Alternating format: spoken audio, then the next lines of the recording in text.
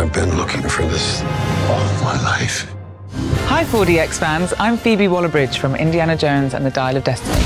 I wanted to let you know that our film is coming to a 4DX theatre near you. This way! Experience the action and adventure of the daredevil archaeologist like never before. With over 20 environmental effects, don't just watch the adventure, feel it in 4DX. Book your tickets now.